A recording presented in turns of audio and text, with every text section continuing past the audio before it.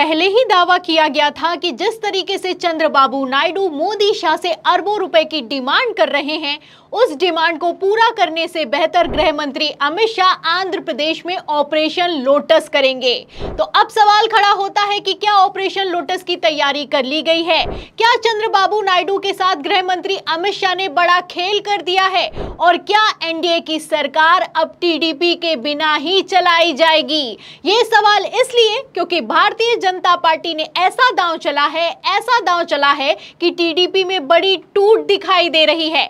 आपको बता दें, हालत तो ये हो चुकी है कि टीडीपी के नेता सड़कों पर उतर आए हैं और नायडू का ज़बरदस्त विरोध किया जा रहा है। तो आखिर क्यों चंद्रबाबू नायडू ने प्रधानमंत्री नरेंद्र मोदी को पत्र लिखा था और इस्तीफा देने की धमकी दी। आपको बताएँगे, लेकिन उसके पहले खबर का मेन पॉइंट फटाफट से बता देते हैं। दरअसल आपको बता दें कि डेक्कन क्रॉनिकल ने एक खबर छापी है और इस खबर के बाद से बवाल मच गया है। तो क्या है वो खबर? ध्यान से देखिए खबर आप देखिए दललन टॉप की इसमें लिखा हुआ है कि आंध्र प्रदेश में हाल ही टीडीपी और बीजेपी गठबंधन की सरकार बनी है। डेक्कन क्रॉनिकल ने 10 जुलाई को अखबार अखबार में खबर छापी कि राज्य की गठबंधन सरकार यू टर्न ले सकती है और विशाखापट्टनम स्टील प्लांट की कॉरपोरेट इकाई राष्ट्रीय इस्पात निगम लिमिटेड, यानी कि आरआईएनएल के निजीकरण को अनुमति दे सकती है। अब जैसे ही ये खबर निकलकर सामने आई, उसके बाद तो बवाल मच गया। आपको बता दें कि आरआईएनएल का निजीकरण करने के लिए मोदी सरकार तीन सालों से जुगत में लगी हुई है, लेकिन वहाँ का मजदूर यूनियन इसका विरोध कर रहा है, जिसके चलते इसका निजीकरण हो नहीं पा रहा है। अब ऐसे में खबर निकलकर सामने आई। डेकन क्रॉनिकल ने छापा कि इसका निजीकरण होने वाला है और मोदी सरकार यू टर्न लेने वाली है। उसके बाद तो बगावत हो गई। टीडीपी के नेता कार्यकर्ता सड़कों पर उतरे हैं। एक तरफ़ जहाँ नायडू का विरोध किया जा रहा है, वहीं दूसरी तरफ़ आप देख सकते हैं कि डेकन क्रॉनिकल के ऑफ़िस में दीवारों पर चढ़ गए हैं और डेकन क्रॉनिकल के होर्डिंग को जलाया जा रहा है। यह विशाखापट्टनम का हाल हो चुका चुका है। खबर भी मौजूद है। खबर देखिए ललन टॉप की इसमें लिखा भी हुआ है कि अखबार की खबर से नाराज़ टीडीपी कार्यकर्ताओं ने ऑफ़िस पर हमला कर दिया। आग भी लगा दी गई है। तो मोदी सरकार ये अच्छे से जानती है कि अगर आरआईएनएल का निजीकरण किया जाएगा तो बगावत हो सकती है। टीडीपी के नेता नाराज़ हो सकते हैं, लेकिन फिर भी आप देख सकते हैं कि ये खबर निकलकर सामने आई है। और सिर्फ़ खबर निकलकर सामने नहीं आई है, बल्कि डेकन क्रॉनिकल ने छापी है। अब डेकन क्रॉनिकल ने ये खबर छापी है तो ये खबर कितनी पुख्ता रही होगी, आप समझ सकते हैं। और सवाल ये भी खड़ा होता है कि ये खबर छापी गई है या फिर कि छपवाई गई है, क्योंकि मोदी सरकार ये जानती है कि इस खबर के सामने आने के बाद बवाल होना तो तय है, जो कि होता हुआ भी नज़र आ रहा है। आपको बता दें, ये वही पावर प्लांट है जिसको लेकर चंद्रबाबू नायडू ने प्रधानमंत्री नरेंद्र मोदी को पत्र भी लिखा था। खबर भी मौजूद है, देखिए इसमें लिखा भी हुआ है टीवी नाइन भारतवर्ष की खबर में कि आंध्र प्रदेश विशाखापट्टनम स्टील प्लांट का मत कीजिए निजीकरण। चंद्रबाबू नायडू ने पीएम मोदी को लिखा लेटर। तो ये लेटर लिखा गया था 2021 में लिखा गया था और कहा गया था कि आरआईएनएल का निजीकरण करने के बजाय उसको फिर से खड़ा करने के उपाय सुझाए जाएँ। इसको निजी का, इसका निजीकरण नहीं किया जाए बल्कि इसको और भी अच्छे से चलाने की कोशिश की जाए क्योंकि यहाँ का जो मजदूर यूनियन है इसका निजीकरण कभी नहीं होने देगा।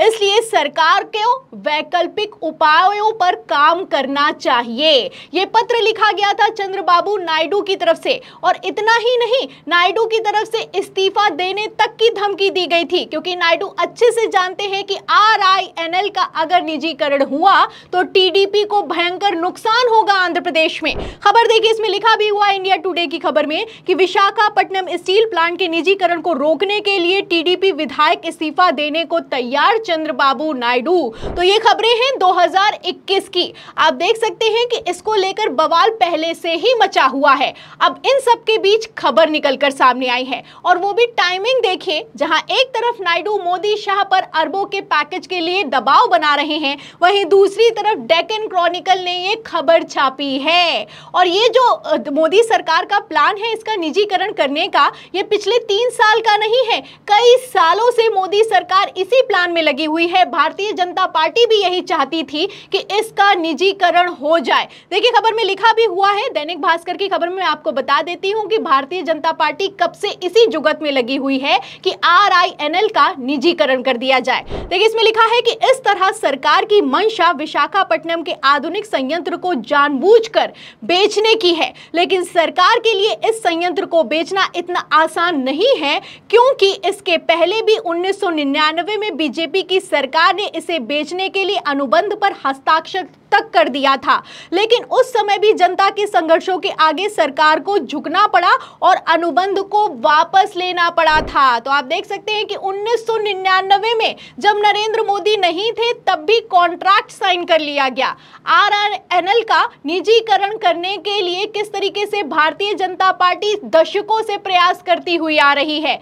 लेकिन फिर भी इसका निजीकरण नहीं हो पा रहा है क्योंकि इसको लेकर ज़बरदस्त विरोध है। और वही विरोध एक बार फिर से होता हुआ नज़र आ रहा है। जैसा कि आप जानते हैं कि जब नायडू ने एनडीए के साथ गठबंधन किया था, तब भी सड़कों पर विरोध हुआ था। पब्लिक ने किस तरीके से नायडू की तस्वीरों पर चप्पलें चलाई और नायडू का ज़बरदस्त विरोध करते हुए उनकी तस्वीरों को जलाया गया, आपने तस्वीरें देखी हैं। अब कुछ एक बार फिर वही होता हुआ नज़र आ रहा है। और ऊपर से इस खबर ने आग में घी डालने का काम किया है।